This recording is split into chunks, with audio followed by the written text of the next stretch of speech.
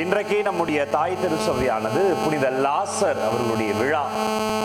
ஏனென்றால் புனித லாசர் அவர்களுடைய வாழ்க்கை அவர் பெற்ற உயிர்ப்பும் திருவருகை காலம் நமக்கு கிடைத்த தயாரிப்பினுடைய ஆழம்.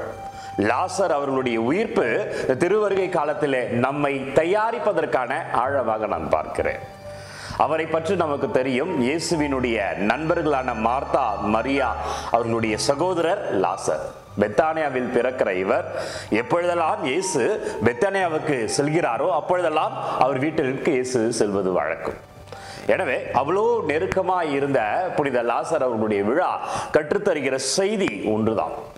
அவர் பெற்ற அந்த உயிர்ப்பு அவர் இறந்த பிறகு நான்கு நாள் கழித்து ஆண்டவர் அவரை உயிர்க்க செல்கிறார்.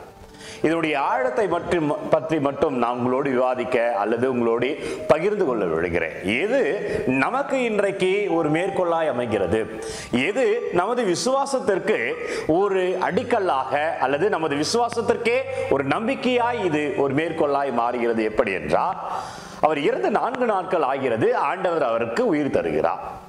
அவர் நோயுற்று இருக்கிற பொழுது இறப்பதற்கு முன்பாகவே அவர் நோயுற்று இருக்கிற பொழுது முப்பது வயதுல அவர் நோயுற்று இருக்கிறார் நோயுற்று இருக்கிற பொழுதே இயேசுவிற்கு செய்தி அனுப்பப்படுகிறது.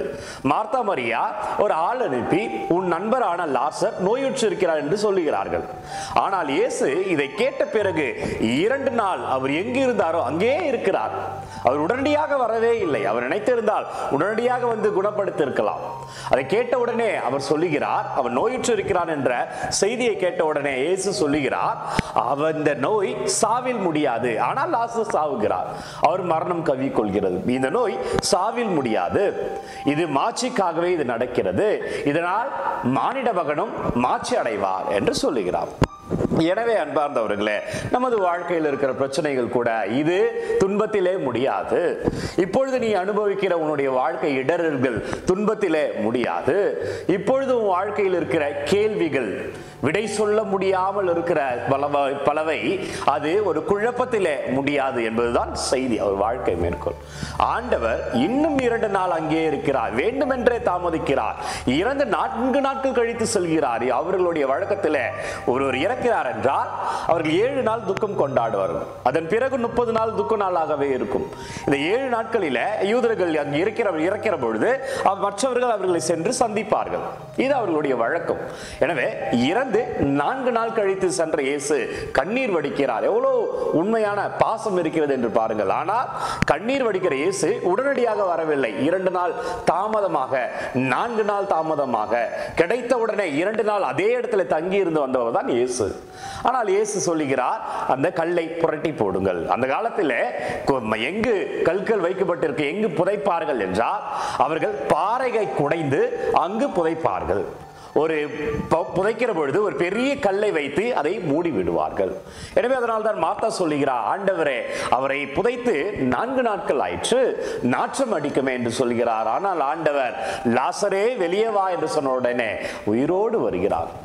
அன்பார்ந்தவர்களே நமது வாழ்க்கையிலும் வருவார் உங்கள் பெயரை சொல்லி அழைப்பார் ஒருவேளை நீங்கள் செவிப்பது நடவாமல் இருக்கலாம். ஒருவேளை நீங்கள் வேண்டி வேண்டி கேட்பது கிடைக்காமல் இருக்கலாம்.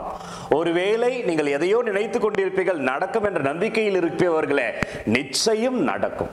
ஆண்டவர் உங்கள் பெயரை சொல்லி இது நடக்கும். உன் பிரச்சனையிலிருந்து வெளியே வா மகளே. உன் பிரச்சனையிலிருந்து வெளியே வா மகனே என்று நிச்சயம் சொல்லுவார். அதுதான் இந்த கிறிஸ்மஸ் எனவே அதற்காக நம்மை தயாரிக்கிறோம். பாருங்கள் வெளியில் வருகிற லாசர் அவர் இயேசுனுடைய பாஸ்காவிலே பங்கேற்கிறார். அதன் பிறகு அவர் அறுபதாவது வயதிலே அவர் உயிர் அவரை விட்டு பிரிகிறது. அதற்கிடையே அவரை பவுலடிகளாரும் பர்ணபாஸ் இருவரும் சேர்ந்து கிரியோன் என்ற இடத்திலே அவரை முதல் ஆயராக நியமிக்கிறார்கள். இறைப்பணி செய்து அவர் மறிக்கிறார். வாழ்க்கையை பெற்றார். எனவே முப்பது வருடத்தில் முடிய வேண்டிய ஒரு வாழ்க்கை இன்னும் முப்பது வருடம் அவருக்கு சேர்த்து கொடுக்கப்பட்டது. அது இறைப்பணிக்காக உங்களுக்கும் கொடுக்கப்படும். இறைப்பணி செய்வோம். செபத்தில் இருப்போம். நம்பிக்கையோடு இருப்போம். இறைவன் உங்களை அழைக்க வருகிறார். நம்மையே தயாரிப்போம். தந்தை மகன் தூய ஆவியானவர் உங்களை நிறைவாக ஆசிர்வதிப்பாராக. அமேன்